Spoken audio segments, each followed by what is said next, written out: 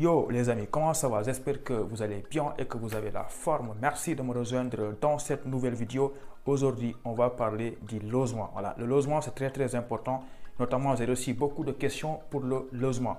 Euh, à cause de la distance entre votre logement et l'école qui vous a accepté, il y a des gens qui me demandaient en fait, est-ce que si la distance entre le logement et l'école, ça fait plus de une heure de route, c'est bon ou pas pour la demande de visa Donc, on va répondre à cette question-là aujourd'hui. On va aussi parler euh, de l'internat parce qu'il y a eu des étudiants qui ont été acceptés à l'internat et qui ne savent pas est-ce que c'est possible ou pas de déposer le visa avec un logement à l'internat. Restez jusqu'à la fin de la vidéo, on va répondre à tout ça. Et aussi, je vais vous donner mon cas, comment moi j'ai fait euh, quand je déposais le visa avec mon logement? Est-ce que ça a causé des problèmes ou pas? On va parler de tout ça après. Mais les amis, on va commencer par le commencement. Déjà, pour les nouveaux, abonnez-vous à la chaîne, s'il vous plaît, abonnez-vous à la chaîne. Voilà, ça me fait plaisir et surtout, partagez la vidéo, likez, voilà. Et pour les anciens, vraiment, je suis super content. Je vous remercie pour votre fidélité à la chaîne. Donc, les amis, si vous voyez des jeunes youtubeurs comme nous, des étudiants qui font des vidéos, il faut les soutenir au maximum. Voilà, parce que nous, nous ne sommes pas ici pour faire des vidéos, mais quand même, on se dit pourquoi ne pas aider les étudiants qui sont, euh, je ne sais pas, dans la galère ou pas? Parce que nous aussi, on sait que quand on était au Sénégal, on a beaucoup galéré pour venir en France. C'est pourquoi on a pris la décision de faire des vidéos. Voilà, donc les amis, comme d'habitude, suivez-moi sur Instagram si vous avez des questions personnelles. Sinon, vous pouvez aussi laisser un commentaire ici. Voilà, je vais répondre à tous les commentaires. Sinon, si la question est un peu personnel, comme je l'ai dit, c'est sur Instagram. Je vous mets le lien sur la description. Allez-y, posez vos questions. Donc, les amis, est-ce que vous êtes prêts pour la vidéo? Alors, c'est parti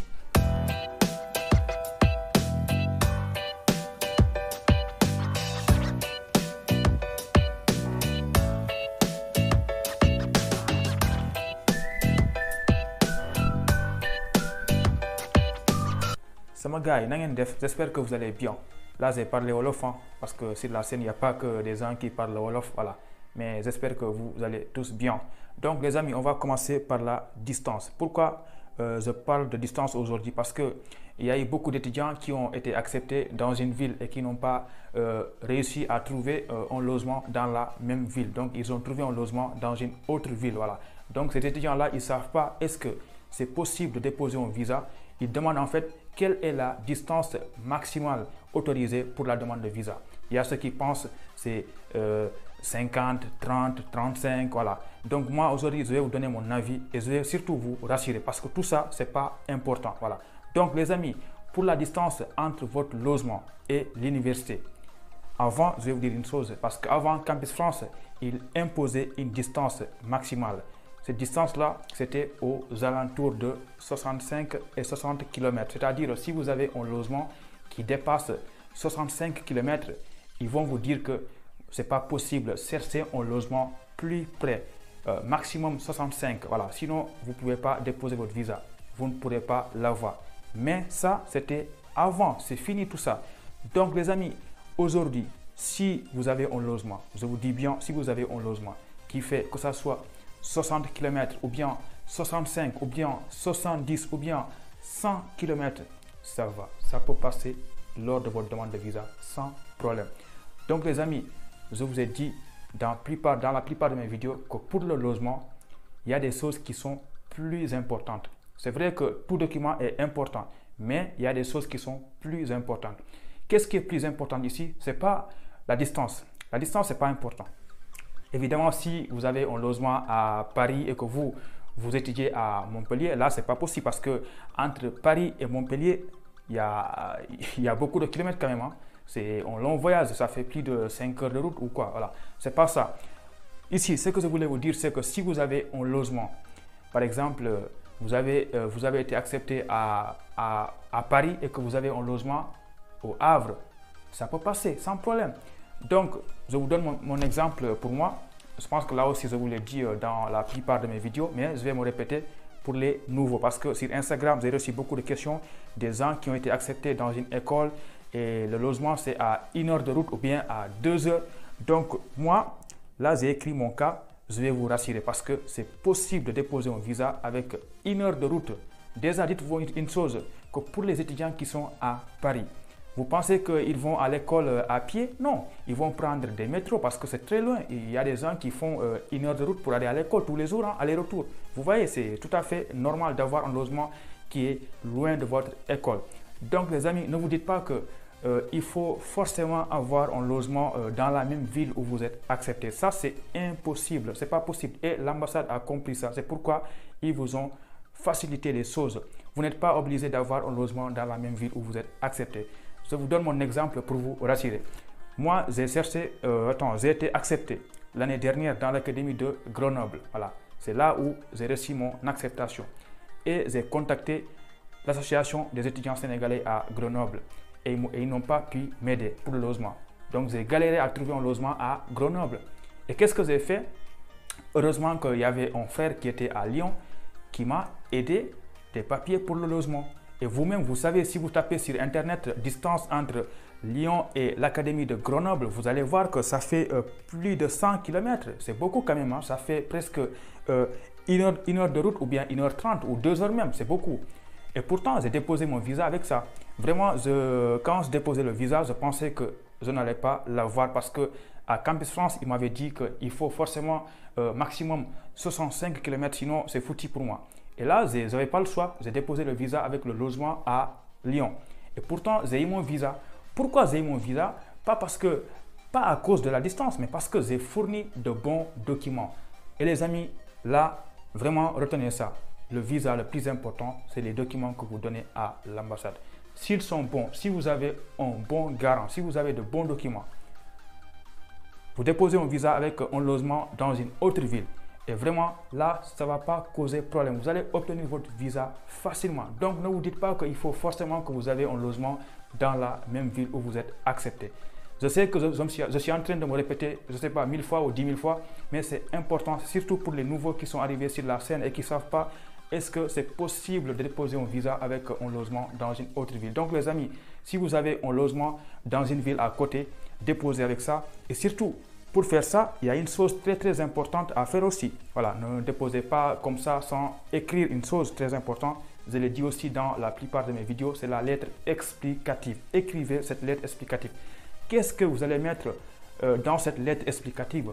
Il faut expliquer qu'est-ce que vous allez faire pour étudier euh, dans la ville où vous êtes accepté. Voilà. Donc, qu'est-ce que vous allez écrire? Vous allez mettre, par exemple, disons, voilà, euh, moi je suis accepté à Grenoble, mais j'ai eu un logement à Lyon. Il y a mon frère là-bas, donc je vais aller à Lyon pour les premières semaines ou bien le, premier mois. Et après, une fois à Grenoble, je vais chercher un logement à Lyon. C'est ça une lettre explicative. Évidemment, les amis, si vous ne savez pas comment l'écrire, envoyez-moi un message sur Instagram. Peut-être que je vais vous envoyer un exemplaire. Évidemment, ne, ne me demandez pas de l'écrire pour vous parce que ce n'est pas possible. Je ne peux pas écrire une lettre pour vous parce qu'il y a des gens qui m'ont demandé d'écrire une lettre de motivation pour eux, de me demander d'écrire euh, un recours pour eux. Tout ça, ce n'est pas possible. Je, reçois beaucoup de messages. Je ne peux pas écrire pour vous, mais je peux vous envoyer un exemplaire. Donc, les amis, allez sur Instagram si vous voulez avoir un exemplaire de lettre explicative. Je pense que tout ça, c'est très simple. Si vous tapez sur Internet exemplaire de lettre explicative, vous allez le trouver facilement. Voilà. Donc, les amis, ça, c'est concernant la distance. En résumé, si vous avez un logement dans une autre ville, même si c'est une heure de route ou bien deux heures, c'est possible de déposer un visa avec ça. Le plus important, que vous fournissez de bons documents, de vrais documents, des documents non falsifiés. Voilà. Donc, on va euh, revenir avec euh, l'internat, les logements à l'internat parce que c'est très important aussi. Donc, ici, il y a eu des gens qui, qui ont été acceptés dans des logements à l'internat et qui ne savent pas est-ce qu'ils peuvent déposer le visa avec ça. Donc, les amis, moi qui vous parle là, j'ai été à l'internat. Donc, vraiment, si je vous dis euh, que les logements à l'internat, ça ne suffit pas pour la demande de visa. Je sais de quoi il s'agit. Pourquoi je vous dis que ça ne suffit pas? Parce que déjà, si vous êtes accepté à l'internat, ils ne vont pas vous donner les documents nécessaires pour la demande de visa. C'est quoi les documents nécessaires pour la demande de visa? C'est euh, un contrat de bail, des factures, un titre de séjour, voilà, des choses comme ça. Et l'internat, normalement, il ne vous donne pas tout ça. Donc, imaginons que vous êtes accepté à l'internat, il ne vous donne pas ça. Et que vous, vous allez déposer un visa. Qu'est-ce que vous allez dire à l'ambassade? Vous allez lui dire que, voilà, moi, je suis accepté à l'internat. Point final. Non, il faut leur donner des documents qui prouvent que vous êtes accepté à l'internat. C'est ça. Je pense que tout ça c'est très clair. Évidemment, il y a un autre problème pour l'internat. C'est que l'internat ne vous prend que du lundi au vendredi. Le samedi et dimanche, c'est fini. Vous ne pouvez pas être à l'internat. Je pense que là, vous avez compris. Donc, ne comptez pas sur l'internat parce que ce n'est pas suffisant. Maintenant, qu'est-ce que vous allez faire le week-end avec l'internat? Vous allez dormir dehors ou quoi? Vous voyez, je pense que vous avez compris un tout petit peu. Donc, là, je pense que c'est tout, bon. Euh, permettez-moi de revenir un tout petit peu sur les inscriptions administratives euh, pour ceux qui sont acceptés sur Parcoursup. Il y a eu des gens qui m'ont demandé de faire une vidéo pour ça, mais il n'y a pas besoin de faire une vidéo parce que j'avais déjà parlé de ça dans les anciennes vidéos. Pour l'inscription administrative sur Parcoursup, qu'est-ce que vous allez faire? Vous allez tout simplement contacter l'école qui vous a accepté. Et l'école qui vous a accepté, vous les envoyez en mail en disant, voilà, moi je m'appelle Santi Cazorla et je suis accepté euh, pour la formation informatique. Voilà, qu'est-ce que je vais faire pour l'inscription administrative?